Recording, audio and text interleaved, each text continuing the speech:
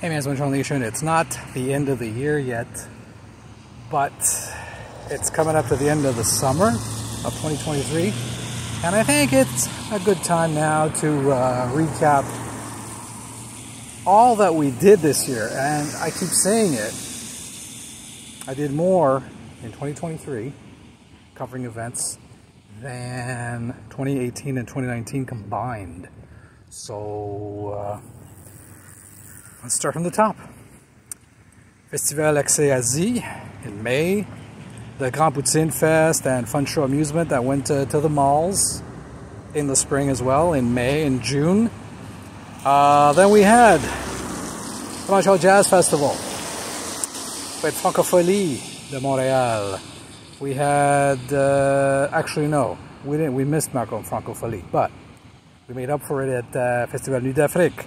We had the uh, St. Nicholas Greek Festival in uh, July, in June rather. We had in Greek Orthodox Church in Laval. We had uh, the Roumeliotis uh, Souvlaki Festival in June, June 16th to be exact, in Park X at the new newly uh, inaugurated Dickie Moore Park on Beaumont. And uh, also we had the uh, Laval Greek Festival in July at the Holy Cross. We had um,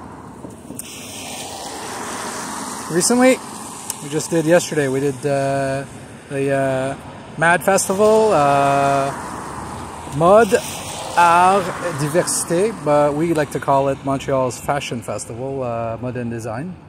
Uh, we also did MUTEK Montreal, the music festival, electronic music festival. Just now, we did the Laconian Brotherhood Souvlaki Festival on Park Avenue and uh, St. Happiness Festival in Park X. We also did the uh, Hellenic Flame Festival last week as well in Park X.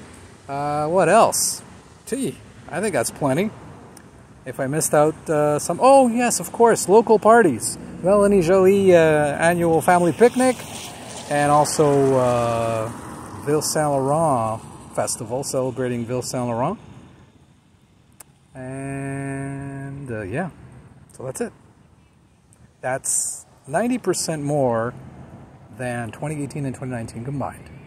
So thank you, Montreal, for supporting Emmanuel's Montreal.